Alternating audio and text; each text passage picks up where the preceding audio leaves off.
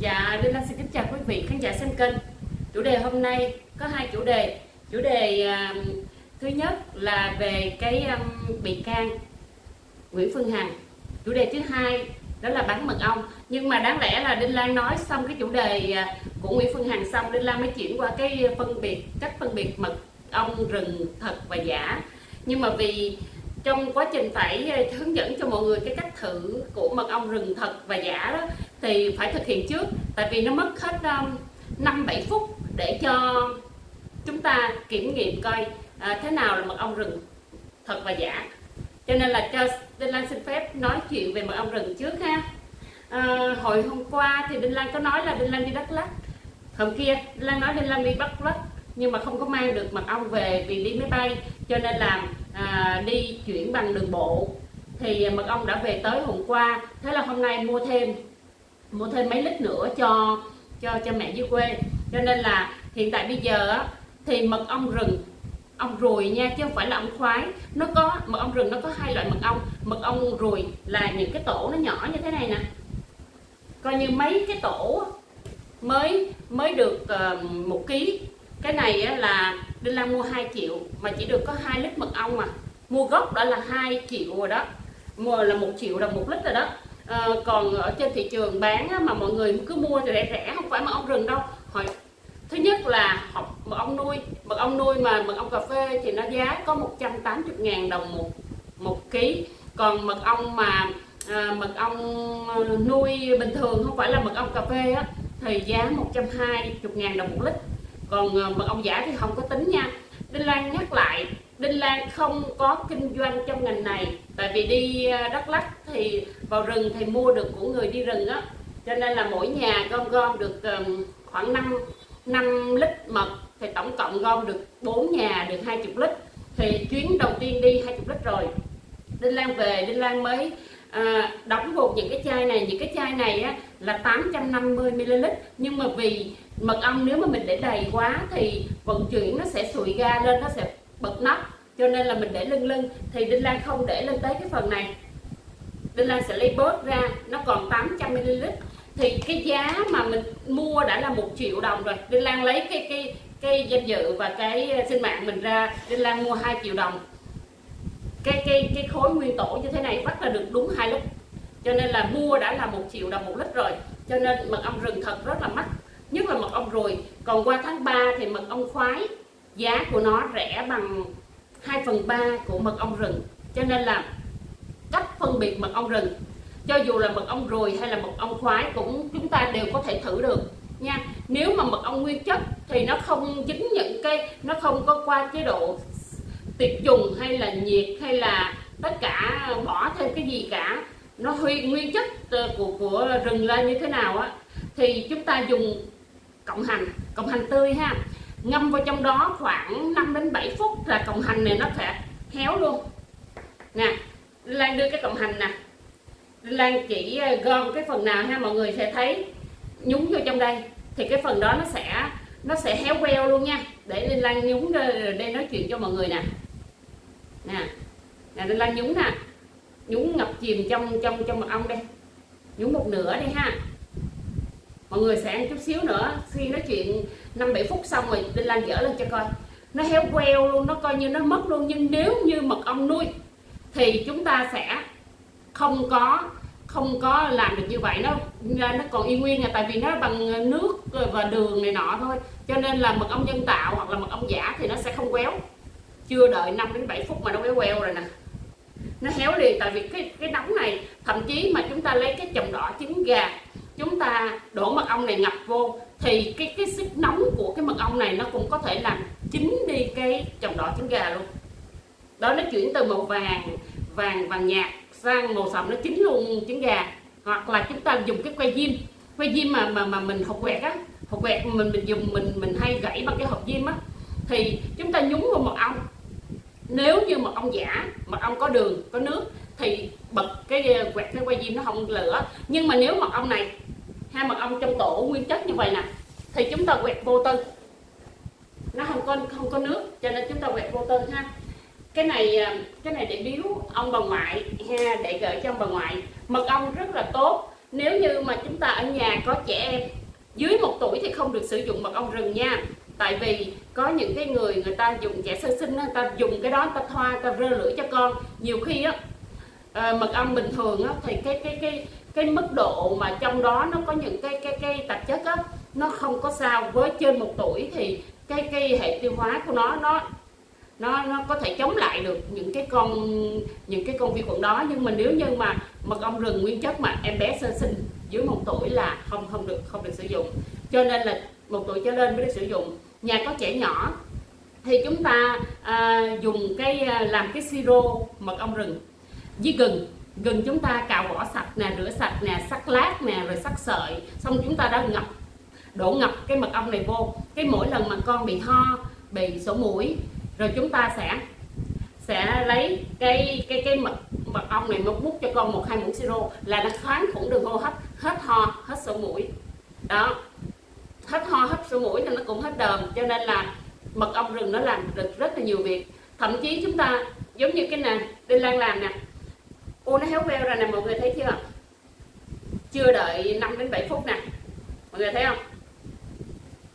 Mật ong rừng thật thì nó sẽ quéo như thế này. Còn nếu mà mật ong rừng giả hoặc là mật ong nuôi mật ong nhân tạo thì cái sức nóng của nó không được gì. Nó, nó làm sao nó cũng y chang vậy nó không có bị héo còn này mình mới bỏ vô có một hai phút mà nó quéo quẹo rồi. Mật ong rừng thật nó mới là như vậy ha. Rồi đó là cách phân biệt mật ong rừng thật. À, đinh lan nói nhắc lại quản lý thị trường hay là những cái đơn vị nào đó có muốn uh, kiểm tra Đinh Lan bán mật ong rạ giả hay thật thì Đinh Lan nói ở nhà Đinh Lan có hai loại mật ong. Mật ong bằng hoa bằng hoa cà phê. Đinh Lan mua cái đó rất là rẻ 180 ngàn đồng một lít Đinh Lan ngâm đông trùng hạ thảo. Ngâm cả năm trời, không sao nó là mật ong bình thường, tại vì đông trùng hạ thảo Đinh Lan không có tính tiền mật ong. Nhưng mà đối với ở nhà chỉ có 30 cái bình mật ong này để Đinh Lan coi như tri ân cho những khách hàng, coi như ăn Tết nè, người ta sẽ dùng cái hũ đó, người ta ngâm lại trên cái hũ đông trùng hạ thảo này. Thì Đinh Lan bán cái này là 800 ngàn đồng một hộp thời điểm nó, nó lên đến triệu rưỡi á bây giờ nó rẻ xuống rồi 800 ngàn. Còn mật ong này trong đây có 8 800 ml thôi Đinh Lan bán 800 nữa là 1 triệu 6 hoàn toàn chỉ có 30 hũ này thôi nha. Nè Đinh Lan cho mọi người coi nè. Hoàn toàn chỉ có 30 hũ này. Nếu mà Đinh Lan bán dư ra là không Đinh Lan không làm gì. Thứ nhất là mình bán mình không có lấy lời mình chỉ lấy cho mọi người dùng thử thôi. À, Đinh Lan muốn mọi người từ người nghèo cũng có thể sử dụng được mật ong rừng thật và đông trùng hạ thảo với một cái giá rất là bình dân ha cho mọi người ai cũng có thể dùng được. Cho nên là hết cây 30 hũ mật ong này là không có còn nữa. Còn nếu qua Tết qua tháng 3 mọi người muốn mua mật ong rừng mà mật ong khoái chứ không có mật ong ruồi nha thì giá nó sẽ bằng 2 phần 3 có 800 ngàn đồng một lít. Như vậy thì cái chai 80 800 ờ, ml này thì nó khoảng 600 mấy chục ngàn đồng một chai. Đó. Cho nên là, nhưng mà Đinh Lan không bán mật ong cà phê. Mọi người muốn mua mật ong cà phê, nó có 180 ngàn lít thì ra chỗ khác mua. Còn ở chỗ Đinh Lan, chỉ bán mật ong rừng. Một là mật ong ruồi, hai là mật ong khoái. Mật ong khoái là cái cái cái cái cái cái tổ của nó to khổng lồ như vậy nè. Nó có những cái cái cái tổ ong. Nhưng còn mật ong ruồi thì tổ nó nhỏ xíu vậy nè. Đó khi người ta bẻ là người ta bẻ luôn cả một cái cành cây trong đó nó có cái mật ong này luôn như vậy nè. Đó, đó. cho nên là mắc lắm á nên làm mua 2 triệu đồng mà vắt được có 2 lít á 2 triệu đồng cái hộp này nó khoảng 4 5 kg 4 5 kg luôn cả sáp luôn cả mật ong rồi về vắt ra được có 2 lít à như vậy thì à, nếu mà gọi là kiếm lời thì không không không không có lời đồng nào không lời một xu luôn á. Bỏ cái công mình mình chạy đi mình nhận hàng mình đem về á. Tốn tiền xăng nữa đó. Nhưng mà Đinh Lan muốn cho mọi người biết được là à như thế nào sử dụng mật ong rừng thật. Mật ong rừng thật đó hả? Ngon lắm mọi người. Đinh Lan ha. À, đi đi công tác về cái người có bị sổ mũi bị ho. Xong cái bắt đầu múc mấy muỗng này ăn vô. Coi như là khoáng thuận luôn hết trơn không có nghiệt mũi không có bị ho gì luôn á. Cho nên người lớn sử dụng cũng rất là tốt nhất là chăm sóc um, đắp mặt nạ hoặc là uống pha nước nóng ấm uống. Còn ai mà thừa cân á thừa cân mà muốn giảm cân thì uống uh, mật ong chung với chanh ha. Uống uh, pha nước ấm uống uống đều đặn như vậy á nó cũng sẽ giảm cân ha. Vì nó cung cấp cái cái lượng mà mà đường này nọ cho nó làm cho mình chống đói và mình cũng ăn ít đi. Thì uh, uống mật ong với chanh và nước nóng thì nó cũng sẽ cho mình giảm cân được rồi giảm cân tiêu mỡ.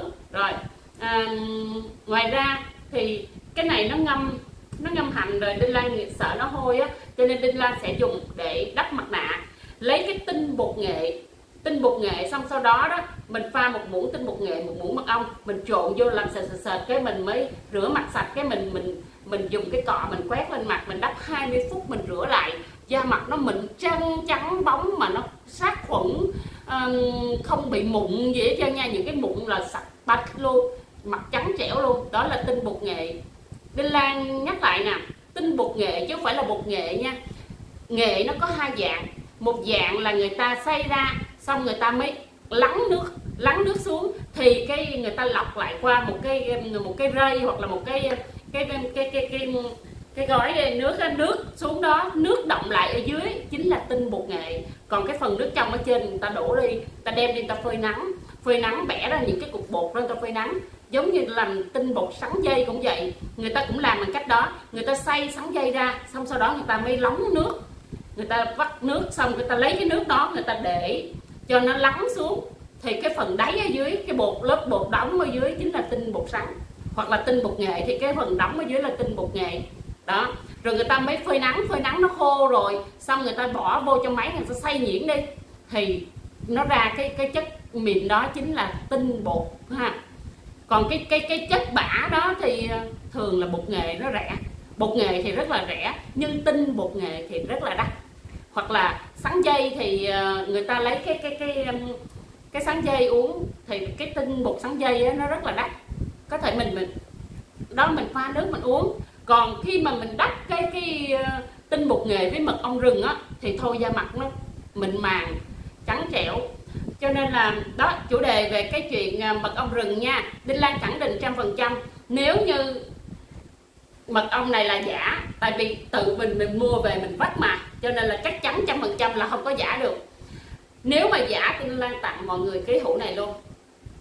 Yên tâm cho nên là không không có hàng giả. Chỉ có 30 hũ này. Cho nên là khi mà giao hàng người nào thì đích thân đinh lan là người gói từng món từng món. Bắt đầu đinh lan làm cái kích nhôm gì nè. Đinh lan đóng lại, niêm phong lại. Đinh lan gửi đi, ha. Lấy bớt ra. Tại vì để đầy quá là bưu điện nó không có cho nó không có cho vận chuyển, nó sợ bị bung nắp ra đó. Cho nên nó bắt mình lấy bớt đi. Đinh lan sẽ lấy ra, tại cái lọ này tới à, 850 ml. Đinh lan lấy ra 50 ml còn lại 800 ml thì mới là bán 800 Lan nói khẳng định lại trăm phần trăm. Đây là mật ong rừng thật. Đảm bảo về chất lượng ha. Không có bán bán hàng giả mà hết 30 hũ này là hết. Có mua hàng thì đặt qua Zalo 0931208805 rồi bây giờ nói về cái chuyện của uh, vụ bà Nguyễn Phương Hằng. Thì uh, còn 10 ngày nữa là Mai Xuân Cường trong cái vụ mà à, cưỡng đoạt tài sản của à, Nguyễn Phương Hằng à, 2 triệu đồng để à, à, bắt cóc bé Huỳnh Hằng Hữu á, thì à, 10 ngày nữa là em ấy được mãn hạn tù. Nhưng mà mãn hạn tù thì bây giờ Phương Hằng thì chuẩn bị đón đón uh, án tù. Cho nên là Đinh Lan nói nè dẫu sao thì ông bà hay nói rằng dần đến chết ngày Tết cũng thôi cho nên là năm ngoái Đinh Lan cũng nói câu đó, năm nay gần tới Tết rồi, Đinh Lan cũng nói câu đó. Đối với bị can Nguyễn Phương Hằng, hiện tại bây giờ đã bắt tạm giam, chuẩn bị qua tới tháng thứ 9 rồi. Thì nếu như các youtuber bên ngoài không tấn công nhục mạ tiếp tục người khác, thì Đinh Lan nghĩ rằng bà có thể sự được xử rất là nhẹ. Và cũng phản ứng xã hội, người ta cũng không có chấp nhận về cái người người ta đã đã um, đi chịu tội. Tuy rằng chưa án chưa tuyên, nhưng mà đi tù giam như vậy một ngày ở tù là thiên thu tại ngoại, cho nên là không có ai mà đi tấn công một người mà họ đang ở trong tù như vậy đâu. Nhưng mà vì các youtuber bên cạnh cứ lợi dụng bị can Nguyễn Phương Hằng để kiếm tiền youtube và tiếp tục cái đề tài tấn công người này, nhục mạ người kia, như Kiệt Tuấn Đạt, như Huấn Bình Dương, như Estan TV như đất Việt, như Tiến Vlog, đó. Tất cả những kênh đó như là à, Đinh Hoàng Nhân, hay là anh nông dân, hay là võ minh điền, hay là lạc phong cho nên là đinh lan nói là ngày 15 tháng 12 đáng lẽ là phiên tòa xét xử vụ vụ Văn Thịnh tấn công chị Đinh Thị Chiên thương tật 20% nhưng mà ngày 16 tháng 12 là mẹ Đinh Lan đã lên gặp cơ quan cảnh sát điều tra công an quận Gò Vấp. Cho nên một vụ án không thể nào hai đơn vị giải quyết được. Lý do tại sao mà vụ tịch thất bồng lai 50 người tấn công vô à, rồi bây giờ mọi người đoán là sẽ lật lại hồ sơ vụ án không có đâu phiên tòa đã xử rồi cho nên các cái kênh như mà em à, Lisa Official cứ đưa lên là thông tin là à, sẽ xét xử lại cái vụ án 50 người tấn công tỉnh thất bồng lai. À, rồi à, mà khởi tố có một người. Không tòa xử rồi là không có xét xử lại đâu Lisa. Cho nên là mọi người phải biết một điều rằng là cái vụ Đinh Thị Chiên cũng vậy. Nếu như mà gia đình Đinh Lan đến phiên tòa đó thì đồng nghĩa với việc rằng cái vụ ờ, Võ Minh Điền bị chìm xuồng nhưng gia đình Đinh Lan không đến. Lý do tại sao? Vì họ đã xoay tố tụng hình sự một cách nghiêm trọng từ công an quận Gò Vấp đến uh, viện kiểm sát nhân dân quận Gò Vấp và đến tòa án. Cho nên 10 tháng trôi qua thì ông Nguyễn Thanh Danh phó trưởng công an quận Gò Vấp mới đưa một cái coi như là kết thúc vụ án điều tra hình sự mới đưa ngày 7 tháng 12 nè dấu bưu phẩm bưu điện còn đóng dấu đàng hoàng. Cho nên việc còn lại là, đó là một việc làm bỏ lọt tội phạm. Gia đình Đinh Lan sẽ vẫn tiếp tục đợi thêm mấy tháng nữa, nhưng mà khẳng định trăm phần trăm rằng nếu chưa khởi tố được võ minh điền, thì phiên tòa xét xử bị can nguyễn phương hằng chưa thể nào diễn ra. Chắc chắn trăm phần trăm. Tại vì gia đình đinh lan sẽ không để yên gia đình đinh lan sẽ lên cấp cao hơn đó là viện kiểm sát nhân dân thành phố hồ chí minh ở 120 năm kỳ khởi nghĩa quận nhất thành phố hồ chí minh để coi như là tố cáo tiếp về cái việc làm sai trái sai luật tố tụng hình sự của viện kiểm sát nhân dân quận gò vấp. Vì Đinh Lan là người có quyền lợi nghĩa vụ liên quan nhưng trong phiên tòa này tự nhiên có xét xử con người. Nó giống y hệt vụ ờ, Thiền Am 50 người tấn công vô tự nhiên khởi tố con người một đó cho nên là và chắc chắn mà khởi tố con người không có tổ chức thì sao? Vũ văn thịnh sẽ được án treo và cũng chả có bồi thường thiệt hại gì hết. Trong vụ án nó còn rất là nhiều. Quyết định không khởi tố vụ án không có mà chỉ nói là khởi tố con người. Bộ các ông muốn làm như thế nào là quyền của các ông hả? Đâu có. Còn kiệt tuấn đạt chị Đinh Lan nói cho mày nghe nè. Tốt hơn hết đó, mày muốn bảo quản cái tiền youtube của mày á mày tốt bớt bớt lên trên mạng mày dẫn dắt đi đừng nói kẻ thù của bà Nguyễn Phương Hằng chuẩn bị bị bắt. Bà Hằng bà nói tôi bị bắt hoài đó nếu ngày xưa bà Nguyễn Phương Hằng trong tháng 7 tháng 8 mà bà Hằng uh, thực hiện cái lời hứa nếu Đinh Lan mà không bị bắt 15 đến 20 ngày nữa Đinh Lan không bị bắt bà Hằng sẽ cạo đầu và từ giả không làm youtube. Nếu ngày đó bà hằng giữ đúng như cái lời như bà nói thì có lẽ là ngày hôm nay bà không vô trong tù đâu mọi người thấy không? Cho nên là bị can nguyễn phương hằng là gieo cái gì nhận cái đó muốn người ta vô tù cuối cùng mình lại là người vô tù. Đó. Thấy không? Bà bà con thấy không? Cho nên ngày hôm nay các youtube mà uh, kiếm tiền youtube được nhiều quá rồi kỳ tấn đạt kiếm được nhiều quá rồi ha. Từ người đói nghèo mà bây giờ có nhiều người uh, có nhiều người còn lái ô tô nữa. Tự nhiên trong cái vụ drama bà Nguyễn Phương Hằng xong ai cũng lái ô tô hết. Xịn lắm. Từ một cái thằng xe ôm như thằng Lạc Phong từ Tuấn Hiệp Lạc Phong cũng lên ô tô lái xịn ghê không? Rồi từ cái người mà coi như là à, không có tiền ha nợ nần như chúa chổm tự nhiên đi Dubai chơi tiền tỷ trời ơi trời quá trời quá đất. Cho nên là kiếm tiền như thế á còn sau này có việc bảo quản à, bảo toàn được cái số tiền đó hay không thì đợi cơ quan pháp luật. Cho nên là à, tôi chỉ tin tưởng vào pháp luật và vẫn tiếp tục đi kiện đi kiện để gì để đòi lại sự công bằng. Còn việc mà tôi sẽ không bao giờ đi vào vết xe đổ của thiền an. Ha đó là à, để cho công an quận gò vấp có thể bắt lỗi không có. Ngày hôm nay bây giờ chuyện của ai nếu mà mẹ tôi ok mẹ tôi lên. Thứ sáu này mẹ tôi lên. Thứ sáu ngày 16 tháng 12 này mẹ tôi lên trên đó mẹ tôi làm một mình tôi. Còn cái việc đơn tố cáo của Đinh Thị Lan gửi từ ngày 10 tháng 2 năm 2022 tới nay vẫn chưa một lần nào được xử lý. À mấy lần lên đưa cho tạ trần anh tú một đống usb rồi cuối cùng sao? Hồ sơ cũng ém nhẹm. Cho nên là rất nhiều những vụ án mà liên quan tới tới công an đều bị chìm xuồng.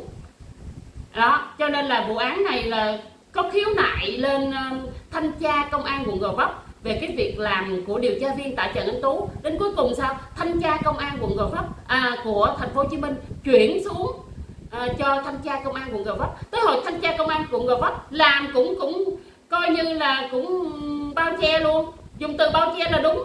Lý do sao không bao che là vì sao? Bây giờ cái quyết định ờ, tại Trần Anh Tú không có tội gì hết trơn hả? Là, cuối cùng tại Trần Anh Tú không có tội gì hết.